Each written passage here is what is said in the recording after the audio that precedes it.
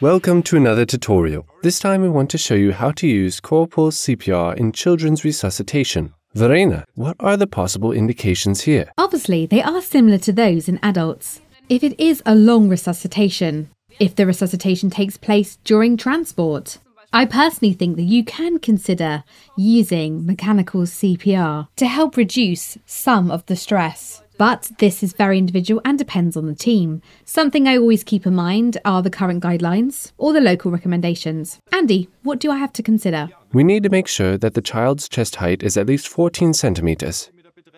That corresponds to about the age of 8. Otherwise, the corpuls CPR is constructed in the same manner as with adults. The only difference is that we use the long stamp from the start. Would you like to briefly run through how to change the settings on the corpuls CPR for children resuscitation?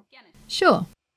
Firstly, I'll change the mode 32 to 15.2. Now I'll adjust the pressure depth in accordance with the current guidelines, which corresponds to one third of the chest height. For a child with a chest height of 14 centimeters, this is 4.7 centimeters. And finally, I will adjust the frequency to around 110. Andy, I have everything set up correctly and the device is ready. Do you want to position it?